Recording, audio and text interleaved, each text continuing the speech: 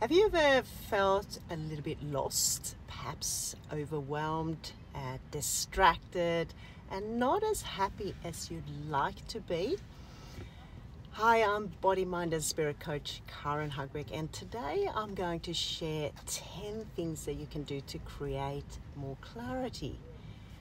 You see, living intentionally requires clarity when you are clear about what makes you happy, healthy, loving, and wonderful, you can be happy, healthy, loving, and wonderful.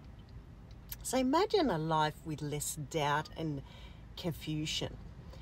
Clarity just makes things easier, everything easier. And by getting there, it requires change and commitment, especially if you're busy, uh, you're distracted or overwhelmed.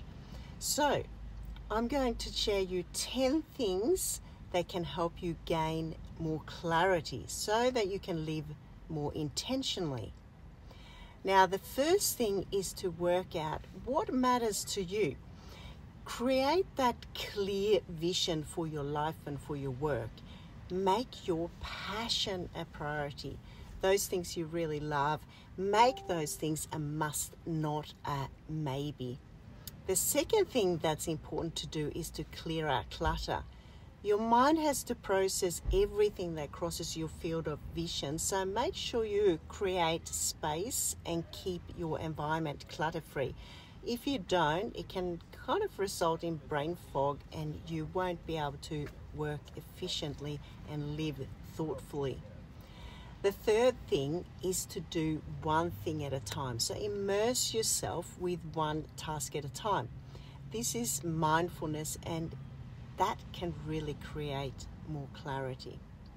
The fourth thing you want to do is also eliminate distractions. Distractions, like, for example, notifications, flashing messages, and so on, just take those away. The fifth thing is to take time to spend in silence.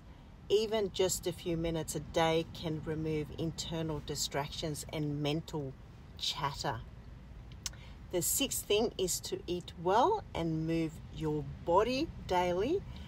Stay away from things like caffeine and sugar so the brain doesn't have to rely on it to function.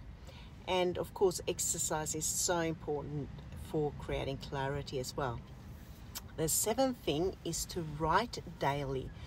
Why not get yourself a journal and start writing a few minutes a day because that's amazing when it comes to creating clarity. Um, the eighth thing is to try new things.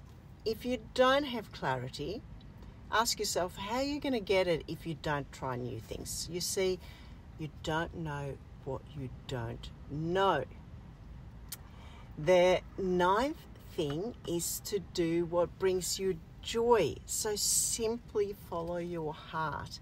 And this is great to do because it simply creates more clarity.